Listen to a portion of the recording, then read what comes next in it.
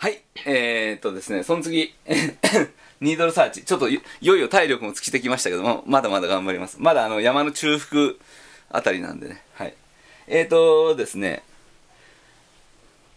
これが、えー、っと、まあ、要はその、波形の画面、今の楽曲の画面。で、これがですね、あのー一番その、近いところというか、ですね。で、これが、えっと、全体像ですね。これがアップで、これが全体像です。はい。今はだから曲で言うと3分、4分の1ぐらいなのかな？うん。いう感じでございますが、えっ、と、この全体像を使ってですね、えー、すごい便利な機能があって、えー、ニードルサーチというのがありますね。えっ、と、ニードルサーチが、えっ、と、昔はこういうなんかバーがあってタッチ、なんていうの、タッチセンサーかなんかだったんだけども、えそれが、もう液晶を直接押してできるようになりました。例えばですね、えっ、と、展開が変わるところをピックアップしようということで、えこの、色がこれ違うんで、すごいわかりやすいんですけど、この辺でどうせ変わるんだろうなということで、パッとここら辺に移動することができます。あ、今ちょうどビンゴだった。うん。あ、ちょっとずれましたね。まあいいや。えっ、という感じで、あ、やっぱこっちら辺の方がいいなとか、そうそう、こうやって、合わせてくれるというのが、えーニードルサーチですね。はい。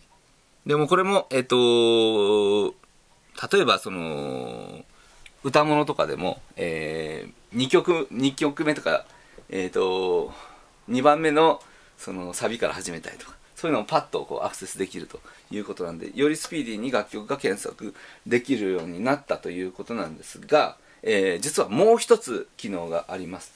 それがですね、ニードル、なんだったっけな、プロレスの技みたいな、あ、ニードルカウントダウンだ。はい。ドーンみたいな。ニードルカウントダウンっていう技があります。ドーンっていうのがありますね。はい。えーと ちょっと一輝くんがちょっと崩壊しそうになりましたが、なんとか持ちこたえてます。えーとですね、このニードルカウントダウンは再生時に押すんです。で、再生時は実はニードルサーチは効かなくて、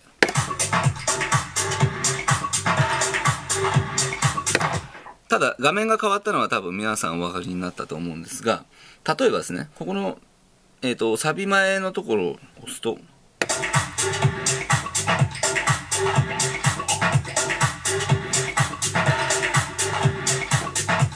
この、狙ったところに、あ、そっかそっか、音消せばいいのか。えー、ちょっと待ってくださいね。よいしょ。今、えっと、B のと、さっきの B のとこですね。これ、ここですね。そうすると、あと、どれぐらいの小説で、この、えっと、展開、狙ったところが変わるよとかっていうのを計算してもらえるという機能でございます。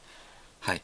えー、まあ、これを使って、まあ、なんていうんですか、よりまあ複雑なミックスっていうか、えーできたり、あとはその、他のその機材との連携をするときとかにも結構便利だったり、えーしますね。もうバッキバキにそのセットを組んじゃうときとかに、あ、あとこれ何小節あるっけとかっていう風でいろいろこう打ち合わせの時点でいろいろできたりもするので、えーこれも、えーかなり便利な機能でございますので、よろしくお願いします。